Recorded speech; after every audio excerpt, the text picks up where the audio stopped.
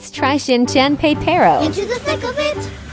Into the thick of it. Into the thick of it.